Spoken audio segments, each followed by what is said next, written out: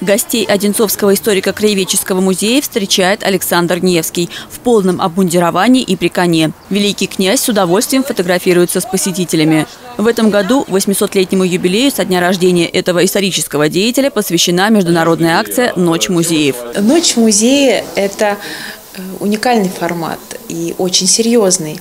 И даже если мы видим интерактивные, развлекательные программы в музее в этот день или квесты, а, нужно обязательно понимать, что они все основаны на э, узких и серьезных научных знаниях и научных данных, потому что под каждым предметом, под каждой коллекцией, под каждым э, событием, которое транслируется в музее, э, есть глубокая научная и историческая основа.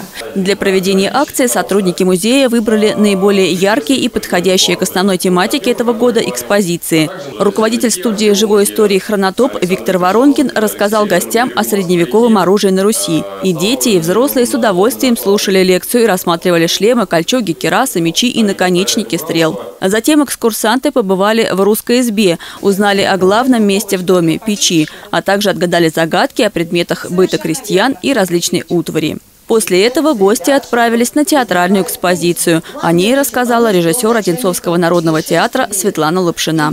Сегодня я вам немножечко э, расскажу о неизвестной истории нашего города.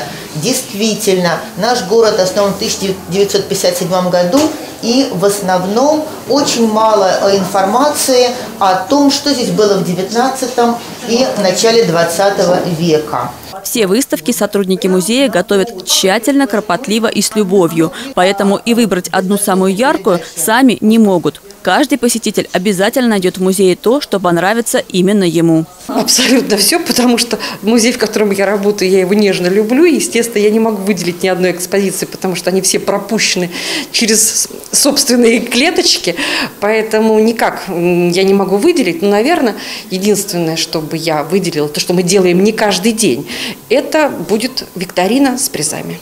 Дети вместе с родителями с увлечением отвечали на вопросы викторины о древнерусских князьях, великих сражениях, славянских верованиях и культуре. Артем смог выиграть сразу несколько призов. Мне больше всего понравилась военная тема. Вот, ну, я вообще люблю читать, например, книги про, про войну, про Великую Отечественную, вот, и я люблю эту всю тему. Также дети и подростки смогли принять участие в творческом мастер-классе. Рисовали княжеского коня и самого Александра Невского. Наталья Гончарова, Артем Ломоносов, телекомпания «Одинцова».